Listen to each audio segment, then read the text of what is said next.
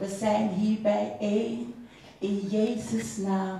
En de Bijbel zegt, daar waar twee of drie vergaderd zijn, daar is de Heer. Ik ben in ons midden. Amen. Dus voor wie zijn we allemaal gekomen? Jezus. Voor Jezus en Hij is in ons midden. Wat we net hadden was een soundcheck. En we gaan nu verder om de Heer aan te roepen voor deze avond. Want we willen alles ontvangen wat de Heer voor ons heeft. Amen. Amen. Ik zie nieuwe gezichten. Wie is hier voor het eerst aan deze plaats? Halleluja. Prijs de Heer. We hebben een nieuwe zuster in ons midden. Mogen we u van harte verwelkomen. En wie bent u? Ik ben Martine Paal. Zuster Martine Paal. Hartelijk welkom. Prijs de Heer. Ik ben blij u hier te zien aan deze plaats. U bent op het juiste moment, op het juiste tijd. Want weet u, als we een uitnodiging krijgen van de Heer, sommigen zijn zo druk bezig met andere dingen. Maar ik, voor mezelf heb ik die keuze gemaakt. Ik zet alles opzij.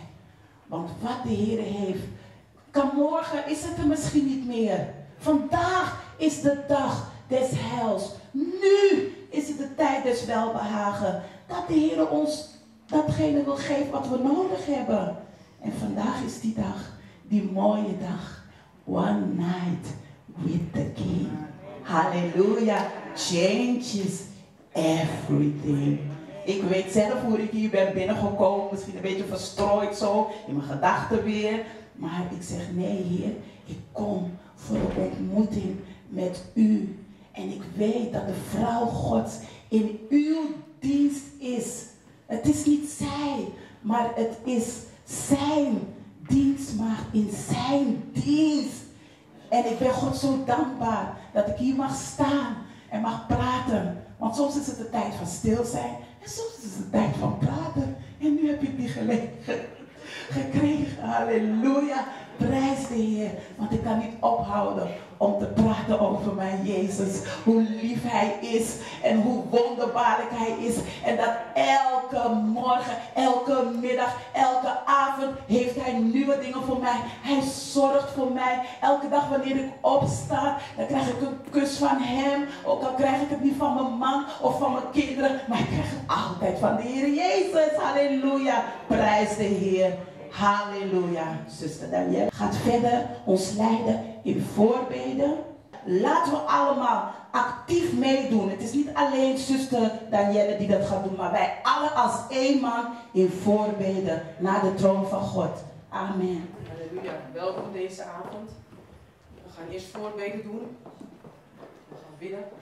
De tekst van Zacharia 13, vers 1. Waar is dat aangegeven? En we gaan het hebben over de bron. De bron dat reinigt, zonde. En de bron dat onreinigheid reinigt. En de bron, daarbij ook bedoeld het bloed. Het bloed van Jezus. Laten we bidden voor het bloed van Jezus deze avond. We zijn gekomen om hem te ontvangen. En door hem te ontvangen, dienen we het bloed van Jezus te ontvangen. Daarom zullen we bidden voor het bloed deze avond. Dat het stroomt overal in het huis. Deze avond, een avond zal zijn van hem, van hem alleen. Want hij zal het woord geven. Hij zal ons bevrijden van dat wat we bevrijd moeten worden. Ik vraag u om te bidden om op te staan in zijn aanwezigheid. En te bidden, want we bidden niet zomaar. We zijn ook niet zomaar gekomen. We zijn gekomen om te ontvangen. Zodat, hij ons kan, zodat wij hem kunnen, hem kunnen dienen. Dat we hem kunnen loven. Dat we kunnen, zeggen tegen hem dat we van hem houden. Oh Vader, u bent zo machtig. Laten we bidden tot hem. Laten we tot hem bidden en op vragen voor bevrijding dat we hebben. Zodat we lang op wachten. Want deze avond is van onze Vader. Onze Vader Jezus Christus. Die ons het bloed heeft gegeven. Ons het bloed zal geven. Als wij open voor hem staan. Als wij ons hart naar hem, aan hem geven. Ons volledig geven. Is het huilen. Is het praten. Toen deze avond. Want deze avond mogen we niet vergeten. Deze avond is een avond dat hij ons zal geven met zijn liefde. In de naam van Jezus. Laten we bidden. Laten we bidden. In de naam van Jezus. Rakababa shakata.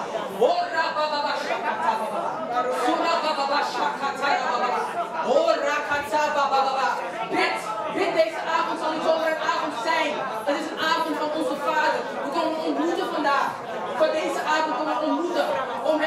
begrijpen van dat we het niet zelf kunnen. Want Hij doet alles voor ons. Hij kan alles. Het bloed van Jezus. Dat deze, dit gebouw. Het bloed van Jezus aan de deur. Het bloed van Jezus aan de ramen. Het bloed van Jezus aan de ramen. Het bloed van Jezus aan de ramen. Bloed om van en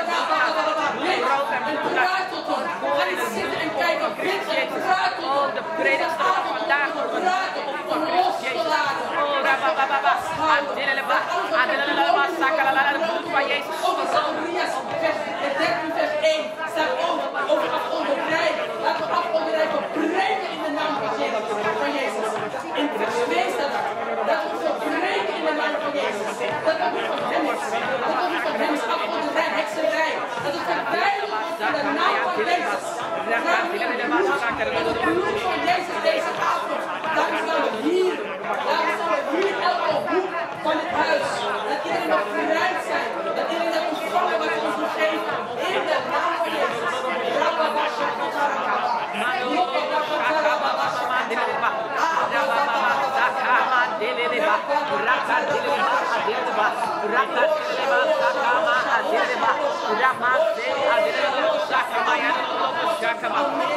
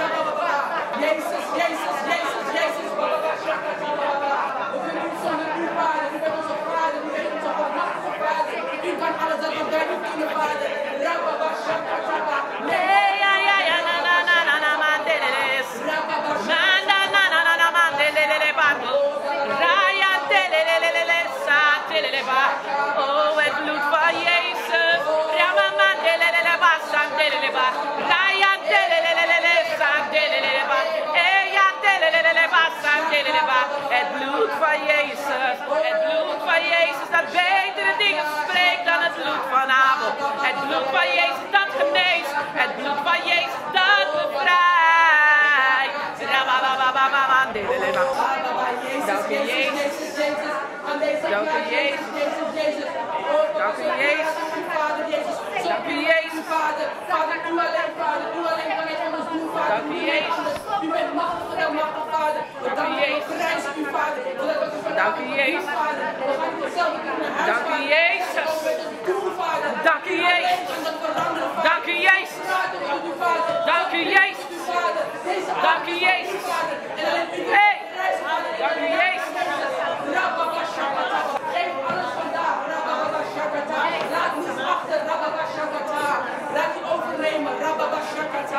Halleluja. Zal het woord bij u doorgeven aan zuster Michi. Zij zal verder gaan bidden. Jezus' naam. Halleluja. I don't know how you came here today. Ik weet niet hoe u vandaag bent gekomen. Maybe you have been through some stuff during the week. Misschien bent u door dingen heen gegaan deze Maybe your heart has been heavy. Misschien is uw hart Hey, zwaar. come on now. Maybe you have been full of so many things. Misschien zit u vol met zoveel dingen. You have been thinking about your children, Denk aan uw kinderen. how to manage your household, Hoe u in huishouden moet. how to manage your marriage, Hoe u huwelijk moet Come on omgaan. now, how to manage things in your job. Yes, come on now, preach. But today, we're going to lay it all We aside. leggen het allemaal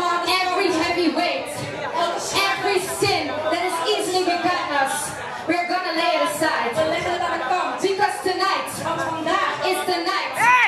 that we're going to spend with our King. die we met onze koning gaan That if you are going to the King, En als je naar de kind you are not going to approach the King anyhow. dan gaat hij niet zomaar No, you're going to empty yourself because you're going to receive from the King. Want u gaat ontvangen van de koning. How many of you know Hoeveel van u weet that you cannot do anything without the Holy Spirit? zonder de Heilige Geest niets kan? Let us go to a scripture Laten we naar het woord where we're going to pray with.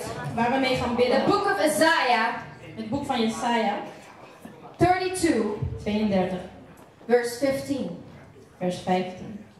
Isaiah 32, verse 15. And it says, Till the Spirit is poured on us from on high. Hey, Till the Spirit is poured on us from on high. We can do nothing without the Holy Spirit. Wij kunnen niets zonder de Heilige Geest. And the desert becomes a fertile field. Now, in the Greek translation, it says, The Spirit symbolizes Ruach. In de Griekse vertaling zegt het, de geest symboliseert ruach. Now, we're going to pray that Ruach is going to blow in this En house. we gaan bidden dat and blow everything out that is not of God. Alles eruit zal And it's going to touch us with His Ruach. Come on, people, begin to pray.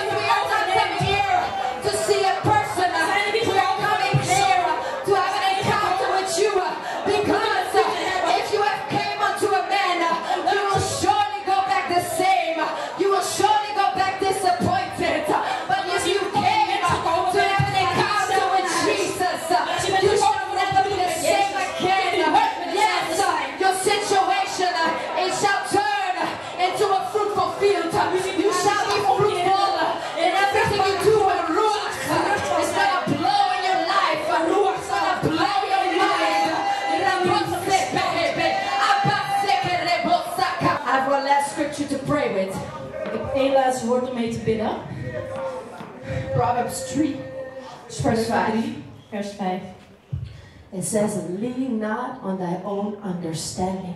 Het zegt, leun niet op je eigen verstand. That is the biggest key you can have in the whole of Christianity. Dat is de grootste sleutel die je kan hebben in de hele christendom. you know.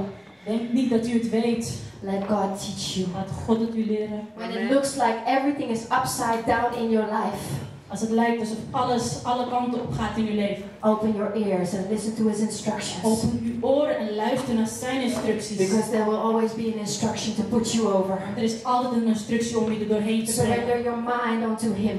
Dus Geef uw gedachten en uw verstand over aan Hem. Cast your burdens onto Him. Werp uw bekommernis op Hem. The Lord has seen everything. De Heer heeft alles gezien. Let us pray that we will not lean our own understandings anymore. But we allow the grace of God to move in our lives. We allow the Holy Spirit uh, to move through us, to help us, to do it through us, to teach our children through us, to be the best uh, colleague in our workplaces. Uh,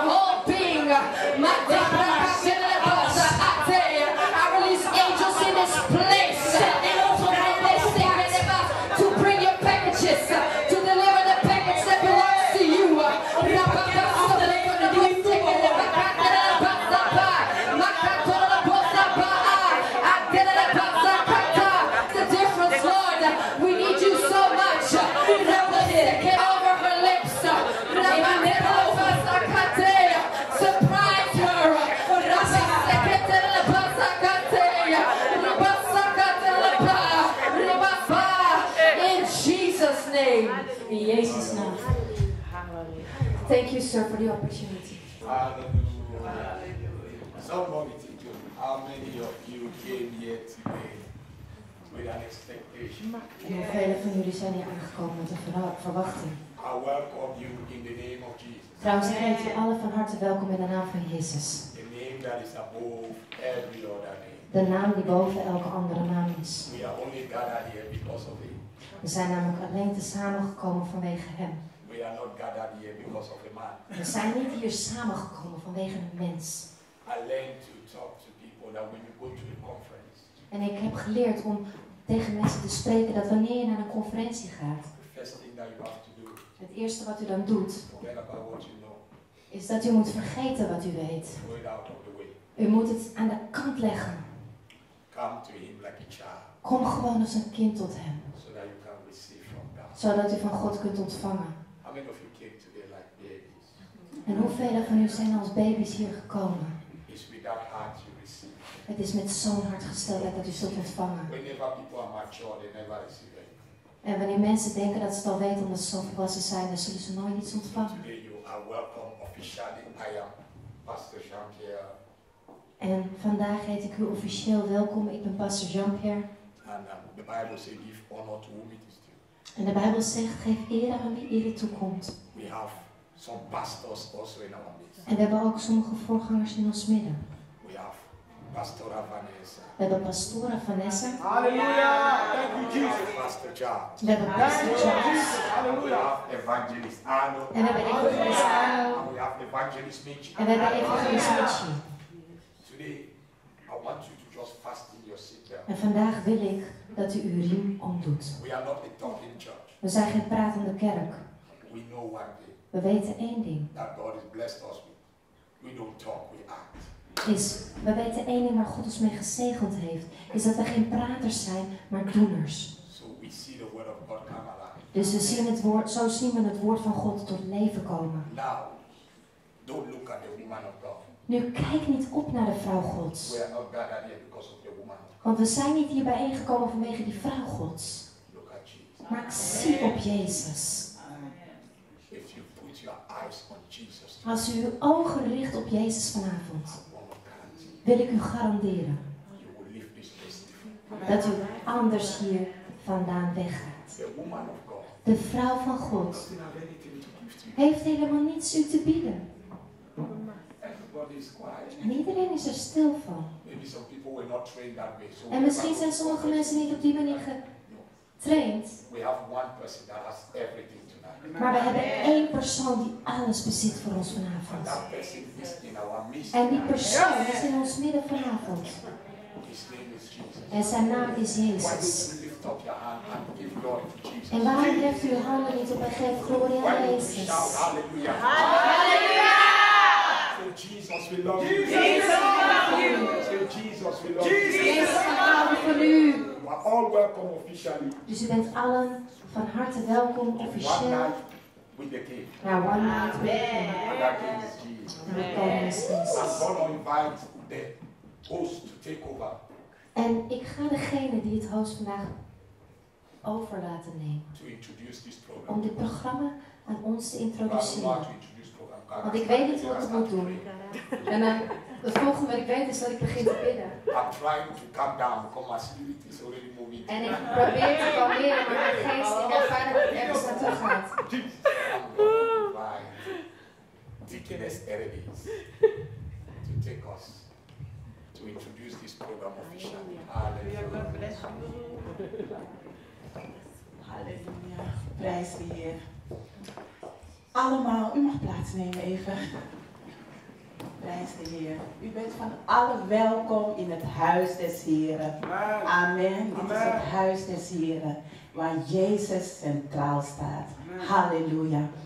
En ik zie allemaal mooie gezichten, nieuwe mensen. Halleluja. God is groot. Hij brengt zijn mensen bij elkaar. Amen. Want het is één geest. Yes. De geest van Christus Amen. die ons tezamen bindt. Halleluja. En ik dank de Heer dat ik hier vandaag mag staan om het programma te introduceren. Ik dank de Heer voor onze voorgangers.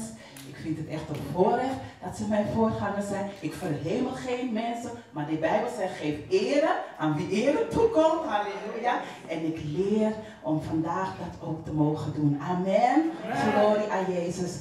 Uh, ik neem toch even deze tijd om toch iemand speciaal te verwelkomen in ons midden. En dat is zuster Martina Paul. Zij is een voorganger ook uit Nijmegen.